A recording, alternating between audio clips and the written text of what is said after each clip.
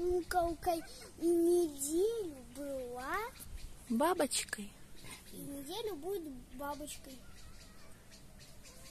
Красота. Вот а! подходит. Ага. Опа. Смотри, как она крылышками. Она их расправляет. Сейчас они у нее еще подрастут. Крылышки.